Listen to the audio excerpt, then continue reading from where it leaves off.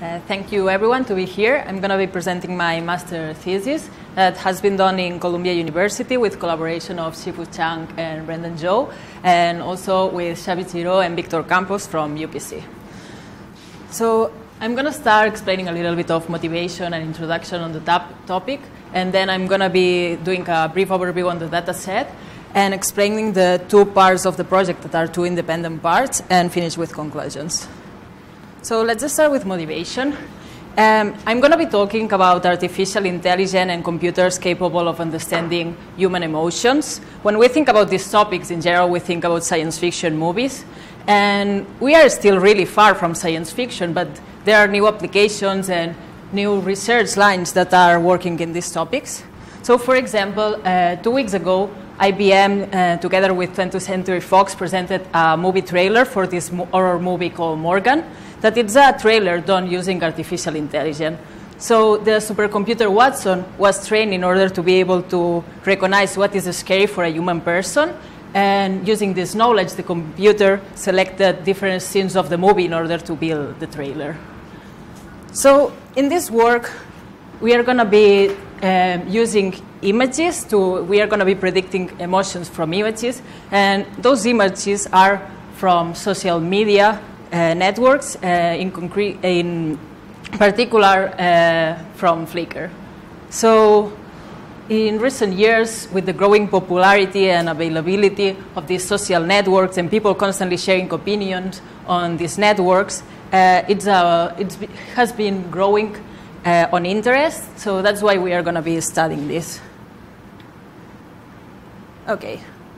So we are going to be working with the problem of mapping uh, sentiment to images. So when we deal with this problem, we have to deal with the affective gap between the low-level features and the high-level emotional content in the image. So many techniques have been proposed to overcome this issue, but we are going to be using uh, the adjective noun pairs that are a mid-level affect representation that were presented by Borth 2013 that as it noun says, uh, they are representing the, the emotions uh, using a noun that is describing the object uh, or the scene, plus some adjective that is giving us some emotional bias. This way, we have labels like crying baby and a stormy landscape that are clearly negative, and a, a smiling baby and sunny landscape that are positive. So we can later map these labels to emotions or sentiments. So in this project, we have two uh, different, very separate parts. The first part is about building an ontology for these adjective noun pairs, and the second part is about uh, studying adjective and noun contributions for adjective noun pair prediction. So as I'm presenting this project for a master on computer vision, and the first part is not really related with vision, I'm going to just give a brief, a brief overview on the first part and focus on the second part of the project. So for both parts of the project, uh, we base our experiments on data from the multilingual visual sentiment ontology dataset, the MVSO.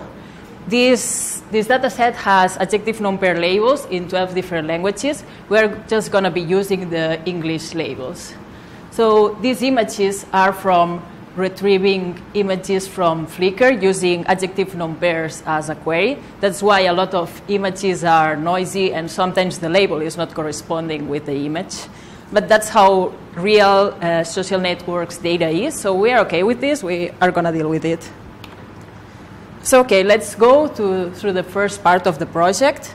We're going to be building an ontology for the adjective pair. So ontologies deal with the determination of rela relations between different kinds of categories, and this is a recurrent artificial intelligence topic because uh, these ontologies are facilitating data interpretation, utilization, and organization.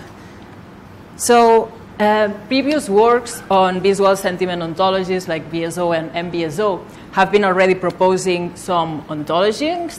They were clustering projecting the ANPs to vectors using word embeddings. So if you are familiar with word embeddings, in order to learn it, you need to train on a large external corpus. Uh, also, some, some big data set ontologies that you may be familiar with are ImageNet and Visual Genome. uh, these data sets present ontologies that are hierarchical ontologies that use WordNet, which is an external dictionary.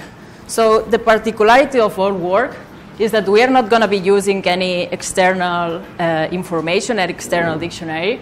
Uh, we are just going to be using the frequency, the tag frequencies on Flickr. What I mean with frequency is the amount of images on Flickr that we have for a specific ANP query. So now I'm going to be really fast on the contributions. So basically, we created three metrics in order to measure the similarities between pairs of adjective and pairs of nouns using the frequencies. And then, using these metrics, we propose two clustering methods. The first one is a one-stage clustering, but we didn't get really good results with this clustering method, so I'm just going to ignore it.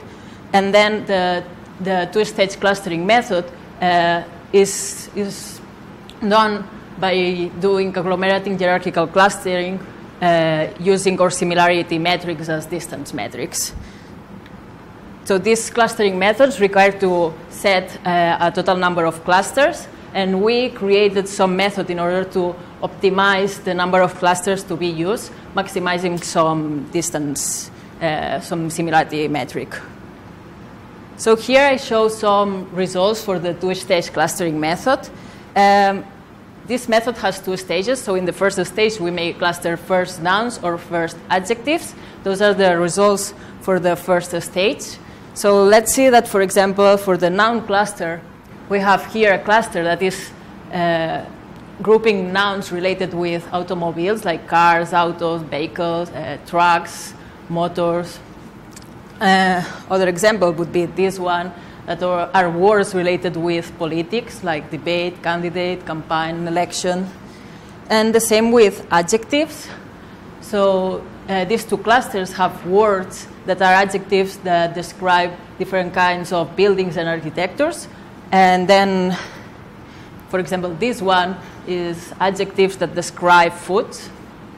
And when we get to the second stage, uh, we can group the nouns and the adjective, and we have the adjective pairs. So we create clusters of adjective pairs. And for example, here we are clustering uh, adjective pairs related with the school and students. And for when we cluster adjective first, the same here we have a cluster that is grouping uh, ANPs related with food. Okay, so let's go to the second part of the project. Uh, in the second part of the project, we are going to be studying uh, prediction for these adjective noun pairs based on the hypothesis that adjective and nouns are contributing different depending on the ANP. So here I show four different examples of ANPs. Uh, we see that some ANPs are more object oriented, some more scene oriented. So we may think that the, the prediction of these ANPs may benefit from using different kinds of prediction models. So uh, right now, the state-of-the-art method to predict the adjective pairs uh, is a single branch um, network, convolutional neural network. But uh, we propose a model where adjective and nouns are computed uh, separately. We have a specific net for adjective and a specific names to learn the nouns. And then we've used some representation of the adjective and the nouns in order to predict the adjective noun pairs.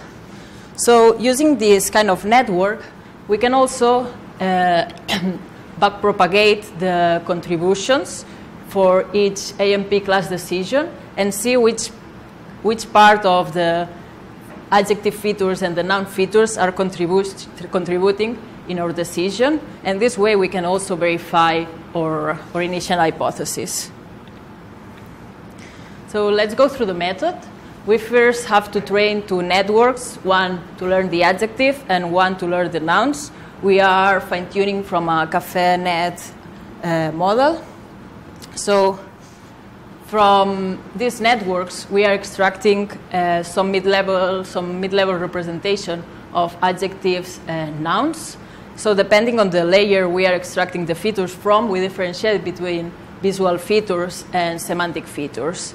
So the visual features are extracted from the FC7 layer, uh, a lot of works in literature are using these features as image descriptors, as they give some global um, definition of the image. But we don't really understand what these features mean. Uh, that's why we also propose the semantic features that we can translate to semantics, because they are the out output from the softmax classifier. So they are basically class probability vectors. So each position of this vector is related to some adjective or noun class, and we can translate it to some semantic label. So using these features, uh, we, well, we do some preprocessing on this, these features, and then we fuse it in a fully connected network, depending on where these features are coming from. If those are the visual features or the semantic features, we differentiate between two networks, the visual ANP net and the semantic ANP net. So using these features, we are gonna uh, compute, predict the ANP in the images. Uh, we are also going to do some study of contributions. So we are going to propagate the contributions in the final ANP class decision to see which features are contributing the most, if those features contributing the most are coming from adjectives or the nouns. And for that, we're going to be using the deep Taylor decomposition technique, which is a state-of-the-art technique that was presented this year in some workshop in ICML. That it's a really simple technique, really easy to apply, that was fitting our problem, and that's why we chose this technique. So let's go through the experimental setup. Uh, so in this work, Jou presented uh, a subset of the MVSO dataset that is restricted to uh, images that were retrieved from Flickr using the tag search. So we are calling it the tag, tag pool images. Uh, from this subset of the MVSO, we selected the 1200 adjective pairs that have more images. So here we are showing uh, these three graphics with the amount of images we have for each class. So in the top we have the amount of images we have for each ANP class we see that it's almost all black because it's uniformly distributed. We have uh, almost 1,000 images for all the ANPs. Then from these ANPs, we extract the adjective and the noun. And here we show these two other graphics that we see that um, the, the amount of images for adjective and nouns is unbalanced. But uh, we are actually okay with it because those classes that have more images are also classes that have more visual variants. What I mean with visual variants is, for example, uh, the adjective happy can go with happy dog or happy baby, but it can also describe some scene like happy Halloween or happy wedding or happy day, which is going to be totally different represented visually. So these classes are going to be more challenging to predict. So that's why we also need more images. So let's go through the results. Uh, here we compare our two proposed networks with a baseline that is uh, a, one, single branch network to predict adjective pairs. We can see that using the visual ANP net, we are improving accuracy over the baseline in both top one and top five accuracy. And using the semantic ANP net, we are doing a little bit worse on the prediction, but this network is allowing us to do a really interesting contribution analysis that we are going to see now. So doing the contribution analysis, uh, we confirm our hypothesis about adjective and nouns having different contributions on the final ANP decision. So here we show a noun-oriented ANP and an adjective-oriented ANP. So cute cat turns out to be noun-oriented and foggy day adjective-oriented. Uh, in this table, we are showing all the things that we computed for each ANP. So first we show the accuracies uh, from predicting this ANP with our three different networks, and then the percentage of contribution given for the adjective or the noun according to our two different networks. And finally, using the semantic ANP net, we can translate contributions to the se semantic adjectives and nouns that are contributing the most on our decision. So here we are showing the top five adjectives and the top five nouns contributing on predicting uh, the cute cat or the foggy day. So doing, uh, analyzing these these semantic contributions, uh, we get some insights about our data set and about our network. Uh, for example, here we are showing two pairs of equivalent ANPs.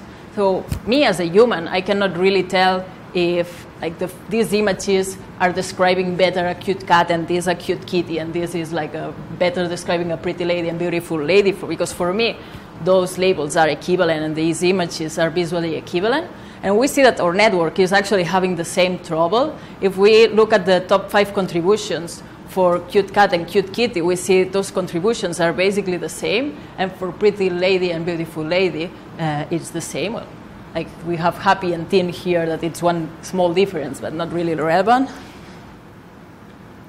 Uh, other, uh, other interesting insights that we can take from the semantic analysis is, for example, for the ANP uh, sparkling water, we see that in the images describing the sparkling water, and there's food inside the water, and the water is inside some cups. So if we look at the top five non-contributions, we find these two words. Uh, also, our network learned that this kind of images is trying to describe some pleasures, and we find this word here.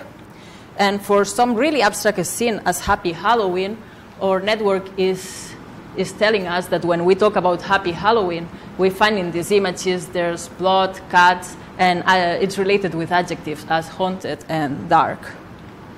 So let's go through conclusions. Uh, first, we presented the frequency-based ANP ontology. we basically propose uh, two methods to create ontologies based just on frequencies. And to measure similarities, we also propose some similarity metrics. And we propose method uh, to optimize the number of clusters to be used on the clustering. So as future work, we would like to create some objective evaluation metrics for these clustering methods that allow us to compare it with some external dictionaries. For the second part of the project, we studied adjective uh, non-contribution for adjective noun-pair prediction. Uh, so we proposed two, two new uh, deep architecture architectures for ANP prediction. Uh, we see that using the visual features, we perform better than the baseline and using the semantic features, uh, we can get uh, really interesting insights about our data set and our network. So as future work, we would like to humanly evaluate if these contributions, uh, the, label the labels contributing the most, uh, people really think that are representing what it's in the images. And we can also use the equivalent adjective noun-pairs that we were detecting in order to improve the evaluation metrics as this kind of ambiguity should not be penalized. And we can also improve the loss function using this information. So in, we would also like to combine the frequency information from the first part of the project with the new models proposed in the second part of the project. And then we would have a new field that would combine deep learning with probability models to learn adjective noun-pairs. And we can also extend these second part models in order to, to do some zero-shot learning. So we could predict adjective noun-pairs that our network has never seen. So finally, just say that this second part uh, work uh, is, is going to be, well, we presented some abstract to do some poster session in WiML in some workshop co-occurring with NIPS. So that's all. If you have questions.